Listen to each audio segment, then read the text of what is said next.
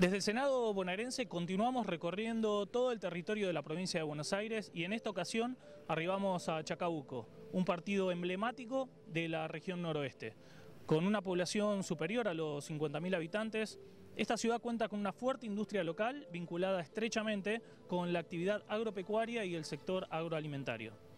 Por supuesto, también aquí encontramos sitios turísticos y lugares de interés cultural para todo visitante que quiera venir a conocer. Sin más preámbulos, los invitamos a que conozcamos juntos, a través de las voces de sus protagonistas, a un nuevo partido de nuestra provincia de Buenos Aires.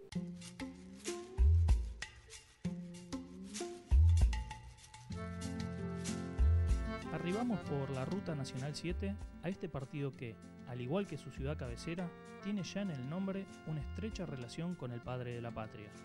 El significado de la palabra Chacabuco proviene de dos vocablos araucanos, Chacay, árbol que crece en la cordillera de los Andes, y Ufco, vertiente. La traducción entonces sería vertiente de los Chacay, teniendo tales características el paraje en el que el Ejército Nacional, comandado por el general San Martín, logró derrotar a las fuerzas realistas en Chile en el año 1817. El nombre de Chacabuco se refiere a, la batalla de Chacabuco, donde, que libra San Martín. Estas tierras se les dieron a los guardias nacionales que eran soldados de San Martín. Entonces, como premio, como pago, se le entregaron tierras acá donde vinieron a vivir familias que eh, ni sospechaban que iban a terminar en Chacabuco.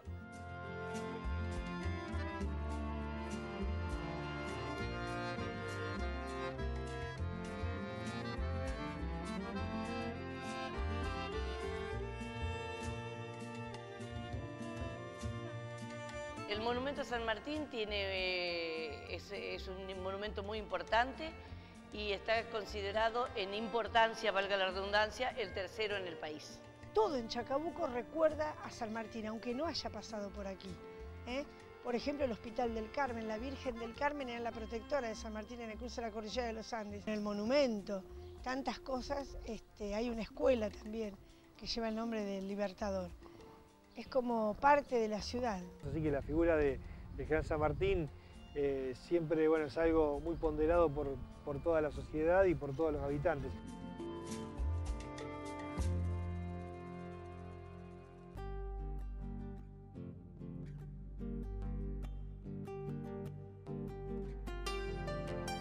Como en muchos lugares de la provincia de Buenos Aires, el campo tiene una importancia vital en el desarrollo económico local.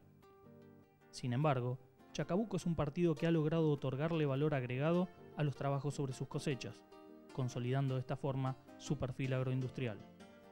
Semilleros, acopios, moliendas, cooperativas agropecuarias con casi un siglo de permanencia, todo esto se puede observar aquí, desde productores locales con gran tradición a empresas reconocidas en todo el país relacionadas a la industria agroalimentaria. Conozcamos un poco acerca de esta característica productiva del partido. El campo es eh, un, actor fundamental en nuestra ciudad, ya que bueno, muchas, muchos productores tienen asiento en la sociedad y es el motor económico de, la misma. Acá estamos en Goba Cereales, que es una cerealera del año 1969, este, una de las más antiguas de la ciudad. Un poco lo que hace el acopio en este caso, es una empresa de acopio cereales, también lo hacen las cooperativas, que es la venta de insumos, eh, que arranca básicamente con la venta de semillas, fertilizantes y agroquímicos. Eh, el productor obviamente una vez eh, que recolecta el cereal, el cereal hacemos el transporte con camiones propios, tenemos camiones propios, el cereal viene a la planta como te decía, lo acondicionamos y después se almacena en estos hilos que ustedes ven atrás y después se despacha a los puertos como te decía o lo que se llama el consumo que es la industria. Nosotros aparte eh, de Goba Cereales, con la, familia, eh, en el año 2000 hicimos un molino de harina de maíz, con lo cual en el molino de maíz eh, terminamos digamos, la, pata productiva industrializando el maíz. El maíz entra dentro de una molienda que se llama seca y estamos haciendo harina de maíz extra fina que va a los mercados de exportación.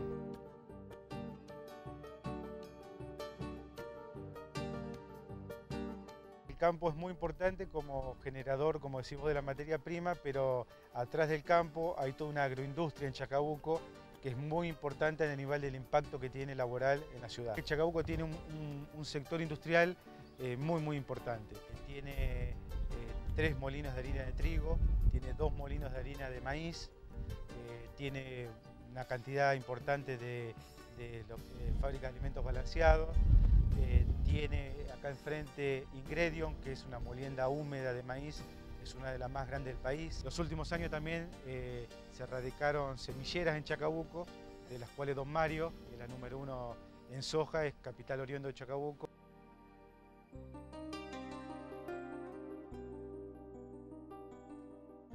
En el caso nuestro, esta es la segunda generación, o sea, yo sería la segunda generación de la empresa. En el caso de algunas industrias como las molineras, ya están en la tercera generación este, que siguen con la misma actividad. Eh, con lo cual, bueno, eso es importante por una cuestión de permanencia, de conocer el negocio y de proyección a, futuro.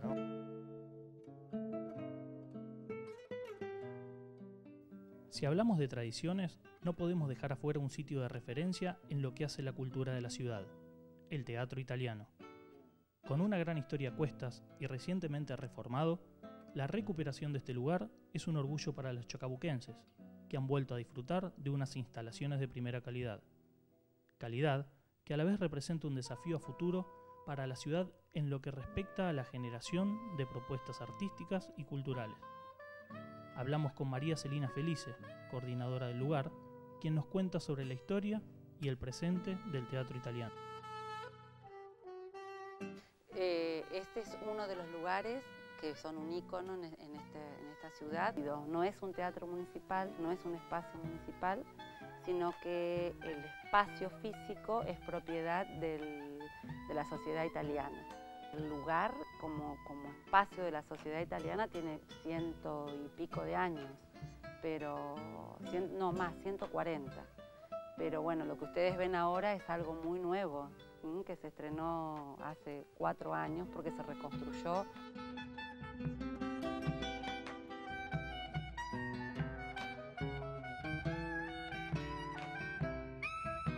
Para mí fue realmente eh, algo que va a quedar en mi retina y en mis oídos. Además, esto se reinaugura con la presencia de Raúl Garelo, que falleció hace muy poquito con su sexteto, lo cual es hijo de Chacabuco, entonces fue, fue una fiesta realmente para, la ciudad, para mí, eh, que todo el tiempo no quería que, terminara, no me quería ir de acá, así que creo que fue un privilegio.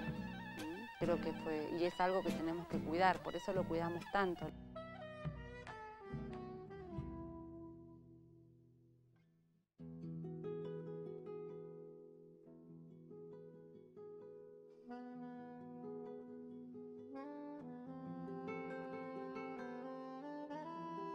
Esta es la planta baja, también hay un espacio arriba que es donde funciona la Galería de Arte. Este lugar donde estamos ahora, como se puede notar, es eh, la sala teatral de este lugar. La sala del Teatro Italiano, que es una sala que perteneció a la sociedad italiana y, pertenece, está en comodato con, el municipio, que es una sala muy bella, una, de las mejores salas de, la provincia de Buenos Aires, dicho por los distintos artistas que vienen a nuestra ciudad y que en realidad se generan bastantes actividades.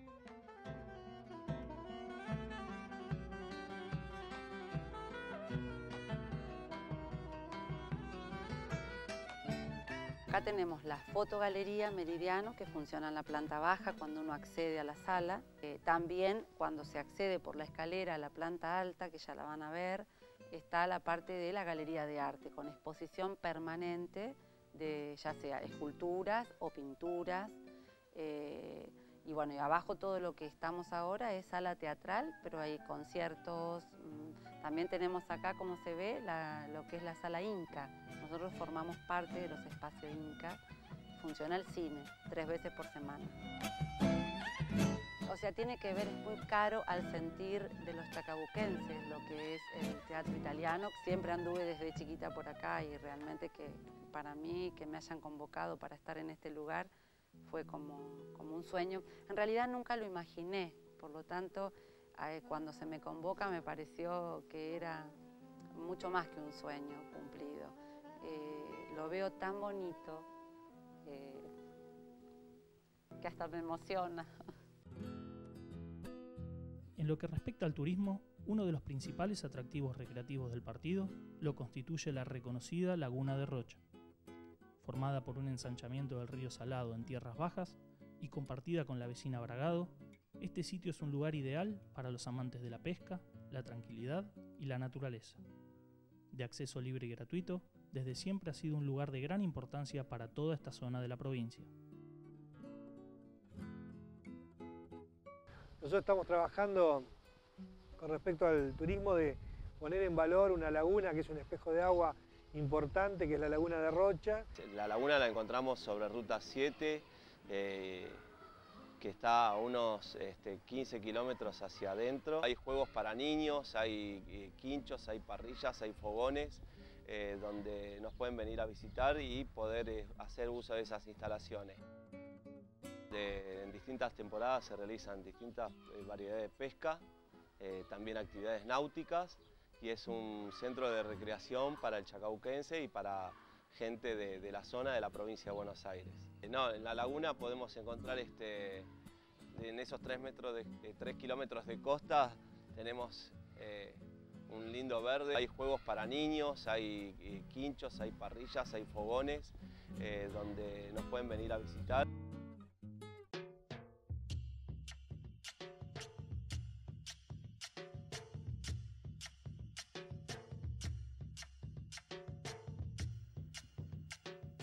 Transitando este territorio de la provincia, nos encontramos con la Mariápolis Lía, una ciudadela del movimiento de los focolares, situada junto al pueblo de O'Higgins. En ella, conviven en su gran mayoría jóvenes de distintas nacionalidades bajo el ideal de la unidad. Con una fuerte vocación al ecumenismo, en este pequeño sitio se sueña y se construye una sociedad basada en valores como la fraternidad, el diálogo y el amor al prójimo. Conozcamos, a través de las voces de sus ciudadanos, todo lo que tienen para contarnos sobre este interesante lugar. Me llamo Attilio, Attilio Bailoni, soy italiano, llevo cinco años aquí en la Mariápolis. El movimiento de los focolares nace durante la Segunda Guerra Mundial en Italia, en Trento, una pequeña ciudad del norte, em, por una experiencia muy fuerte de Dios de una chica que era Lubi. Em, Prácticamente la finalidad del movimiento es cooperar para construir un mundo más unido. Eh, aunque el movimiento nace en ámbito católico, está abierto al ecumenismo.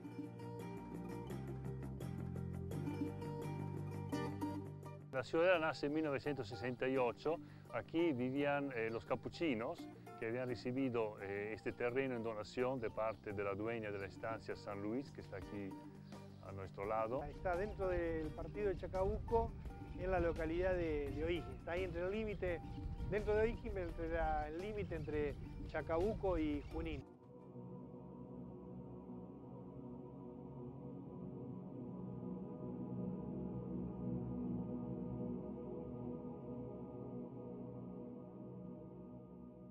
Es una comunidad importante, trabajan muy bien, tienen mucho contacto con la localidad de O'Higgins, con la comunidad, eh, tienen distintos emprendimientos que con respecto gastronómicos y, de tipo artesanal. En la provincia como, como ciudadela sí, es el único lugar, pero el movimiento tiene otros centros, digamos, eh, sea en, la Argentina como en la provincia.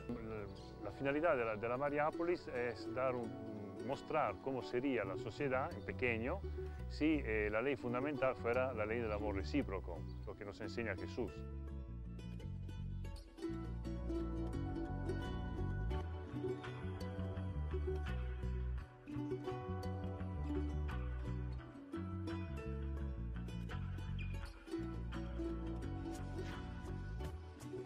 Constantemente podemos hablar de una presencia de unas 180 personas. La, mayoría de la población son jóvenes, actualmente somos más de 20 nacionalidades acá y, estamos eh, tratando de sacarle más jugo también a esta experiencia, decir, que los chicos, nosotros mismos, nos conozcamos entre, eh, en personas de distintas culturas, de distintos países y vamos así experimentando que eh, más allá de la diferencia somos una familia y podemos querernos.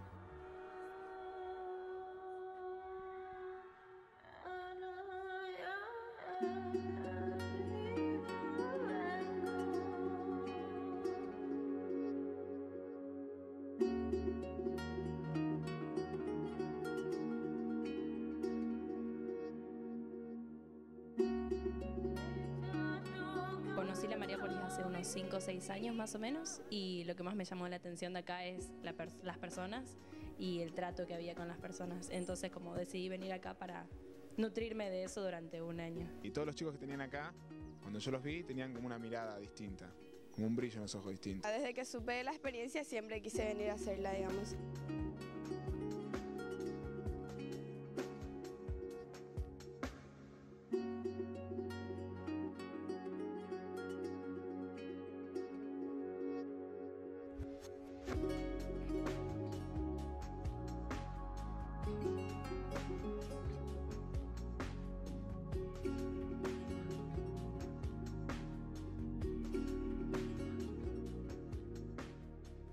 Y al principio es complicado porque, por ejemplo, hay un montón de gente que viene sin saber el idioma. Entonces aprenden acá y tienen clases. Sí, ah, primero fue muy difícil de adaptar al como cuando comen y el idioma y todo eso, pero después como es ah, yo cuando conocí a la gente más, yo ahora siento como es mi familia y ahora aunque todavía falta mucho, como podemos hablar y relacionar en maneras distintas. Pero después es súper interesante porque también como te das cuenta de que la relación con estas personas es mucho más importante que las diferencias. Entonces vas dejando de lado todo eso y se forma una relación que va mucho más allá. Hay una relación con personas que no conoces, tratarlas como familia de verdad, en lo cotidiano. Creo que lo que más me llamaba la atención era esto de, venir a convivir con personas, qué sé yo, muy, muy diferentes a mí. Y como más, más que eso también, digamos, como afrontar esto eh, separada de, mi familia, o sea, de, mi soporte. Eh, fue, fue difícil porque como todos mis ah, amigos estaban entregado, entregando a la universidad y ellos cuando les dije que no iba a ir a la universidad, ellos pensaron que no iba a estudiar nada y no entendieron por qué Argentina, pero después que hablé con mis padres y mi, los los miembros del movimiento de mi ciudad, yo sentí una paz de venir acá y sentí que fue la voluntad de Dios. Entonces fue fácil después. ¿eh?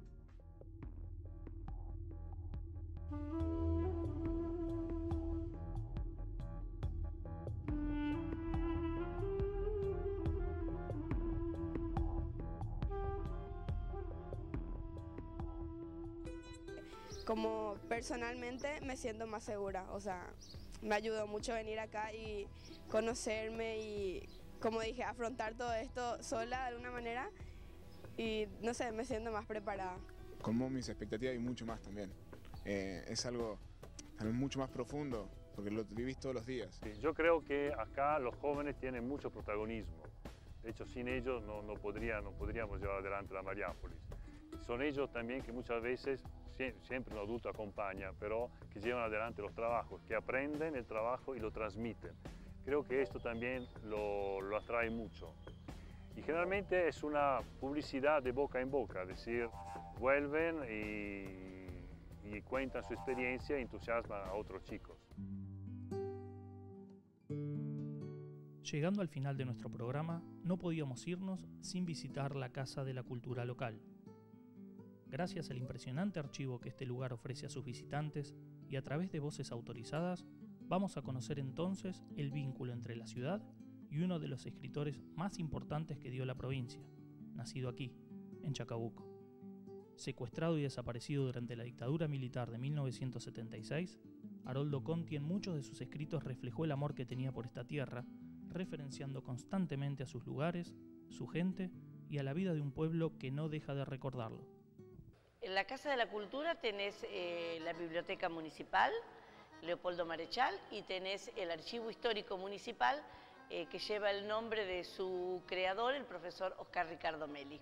Es uno de los más importantes de la provincia, eh, ha sido visitado por grandes historiadores, por profesores, de los cuales han llevado un eh, un concepto muy importante de lo que es el archivo y de lo que guarda este archivo. Eh, en el archivo están, eh, ahí está guardado parte de lo que es la vida de Haroldo Conti. Todo lo que es prosa de Haroldo Conti, los cuentos y demás, están a disposición del público, están en la biblioteca también.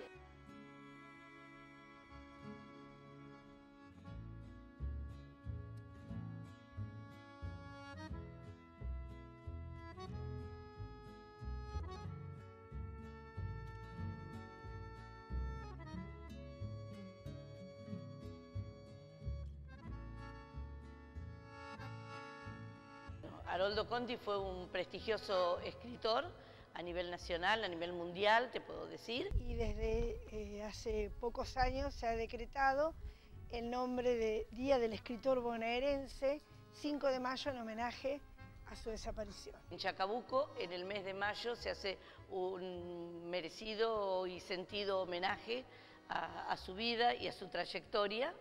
Eh, sabemos que en el mes de mayo es su nacimiento y en el mes de mayo fue su secuestro.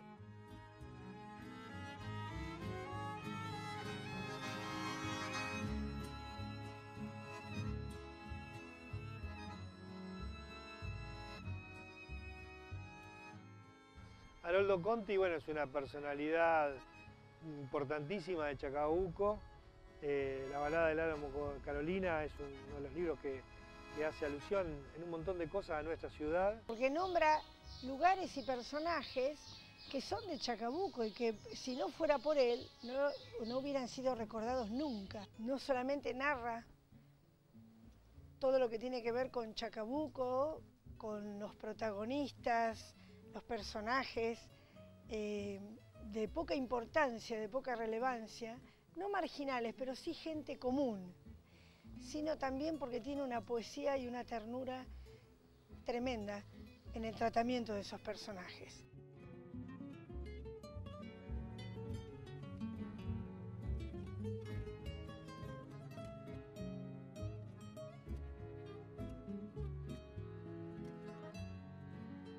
Eh, ha ido a recibir premios, por ejemplo, a Ecuador. Hay una anécdota muy interesante donde conoce ahí a, Vargas Llosa. Vargas Llosa se presenta y dice, soy Vargas Llosa del Perú. Estaba García Márquez, García Márquez se presenta, soy García Márquez de Colombia. Y Haroldo, cuando le toca el momento de presentarse, dice, soy Haroldo Conti, de Chacabuco. Tal era su identidad con este pueblo, ¿no? Bueno, hablar de Chacabuco es un poco hablar de mi infancia. Como tal, y en la distancia del tiempo, ha adquirido Chacabuco un relieve fantasmal para mí. En casi todas mis novelas siempre hay algún personaje que tiene su origen o su fuente en Chacabuco. Para mí Chacabuco es aquel pueblito que relato, describo y en cierta medida recupero, aunque lo invento bastante, en la balada del Álamo Carolina. La idea cuando yo escribo hablo de ese chacabuco mío. No es exactamente el chacabuco que ahora existe acá a 200 kilómetros de Buenos Aires. Siento la permanente nostalgia por mi pueblo.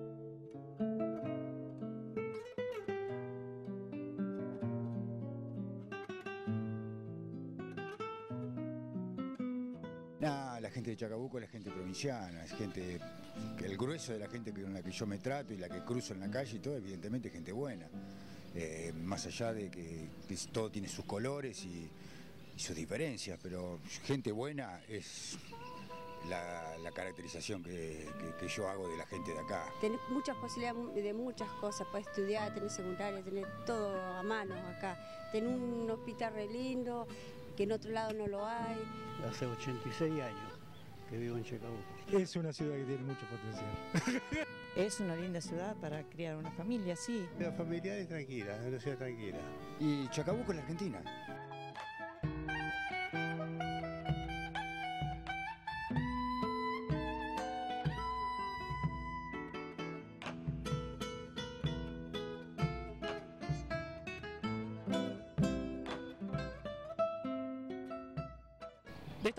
Llegamos al final de una nueva edición de Senado Presenta, en donde conocimos un poco más acerca de las particularidades de Chacabuco.